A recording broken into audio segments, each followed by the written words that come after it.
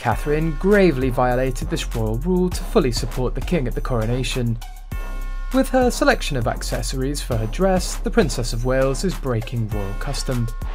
Members of the royal family are expected to dress in their best robes, attire and headgear, but Kate chooses to wear a floral headpiece.